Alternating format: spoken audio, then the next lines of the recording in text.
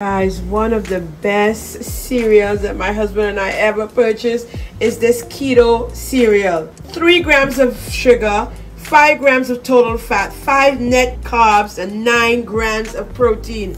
Listen, guys, we love it. I we love, love it. it, and we have it here at the house a lot. Go pick yourself up one. Tell me down below if you ever tried. I would like to know what you guys think about it. It is so good, so delicious. I'm having that for lunch. That's my lunch. And of course, my milk I purchased at the dollar store. Go pick yourself up on like, comment, and subscribe for more. Just a little bit of vanilla caramel cream, sugar free. Listen.